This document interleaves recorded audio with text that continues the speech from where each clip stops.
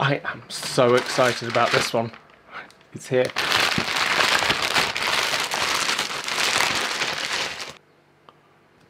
It's my Osmo Pocket. It's arrived. It's so small.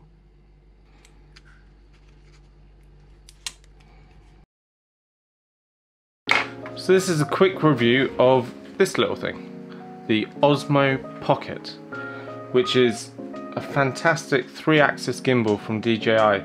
It was launched about two weeks ago, and I got mine on Friday. Um, it's now Monday, and I've had a play with it over the weekend. So here's some thoughts on what's good and what's bad. So what's really nice about this is its size. It's so small. I mean, uh, to give a comparison, there's a GoPro. Now, in most cases, when I take the GoPro out, I actually put it onto this little tripod as well. So, in terms of kind of size, you end up more like that for the GoPro, and then that for the Osmo. So it's actually smaller than what I'm normally carrying as my kind of really tiny throw in a pocket camera. And much, it's about the same weight as the GoPro without the tripod, but just feels much lighter and sleeker. So when you first turn it on, it will initialize, get ready to shoot, and then it's good to go. Has a screen on it that um, is pretty small, but it's usable. You can see what's going on and that also has a microphone and this little lightning adapter that I'll come on to in a second. In terms of the buttons, everything is done with these two buttons on the front here. So you have the function button that switches between modes, so we're in photo or video, and then the record button that starts us recording if you've got an SD card in there. So what I've generally found with this is it's very easy to get it out pocket and get shooting straight away. Comes with this little, little case as well, which is really neat. Um, it doesn't add much to the size or weight, um, which a lot of cases of these kind of things do. And actually, the Osmo has a really neat function that as you turn it off, it puts the camera in exactly the right orientation so that when you put it into the case, the camera doesn't get damaged. And then there you go, a really, really small package that you can just carry around with you wherever you go. Also keeps the charging port available so you can charge it. Now this apparently has about two hours of battery life, which isn't a lot, um, but it's not nothing either. Um, because it's so easy to take out your pocket and use, you're not going to be taking long, long shots. Well, I'm not going to be.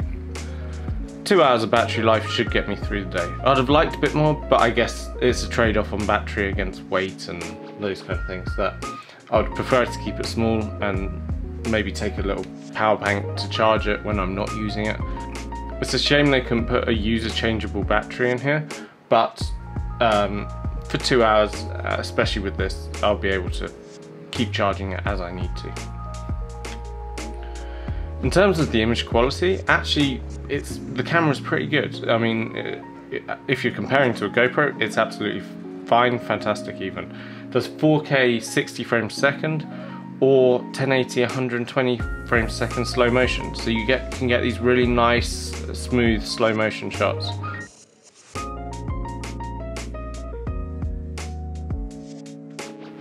My biggest gripe with this at the moment, and maybe it's me, maybe it's uh, something I need to work a bit more on, is actually um, when you're taking footage, it has a lot of uh, smart functions in it. So it has active tracking on faces and um, objects and things like that. And so when I was uh, filming myself, I'll show you the clip here, uh, just outside of Tesco's uh, car park, but it uh, attached itself to Lindsay's face rather than my face. And so I was trying to kind of turn it back around to um, to get back into shot, and uh, it was filming something else. And I, I can't work out whether that is that the number of active functions and software things on this is just too many or whether I get need to get better at knowing what it's going to do and how it's going to do it. Um, a very neat function it has is on the front here you have uh, in the box a choice of accessory adapters.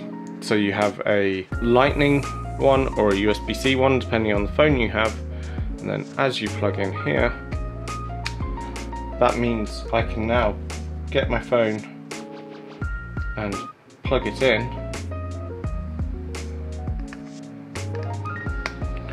and what it will do is it will launch the DJI app oh, I don't have an SD card and then you're in with a much bigger screen uh, a lot more flexibility on the features you can access um, you can access some more of the pro features including focusing and um, moving the gimbal and things like that on this much bigger screen of your iPhone.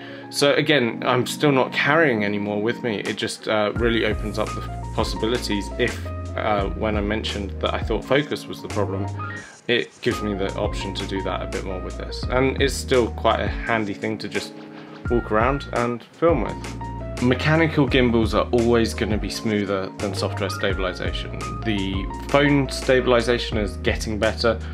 The GoPro stabilization is really good, but a Go uh, mechanical gimbal is always going to look smoother and will work in high light, low light, um, will give you way more options. So I'm really pleased to see this out as a vlogging, as a take with me for family days out, everything like that.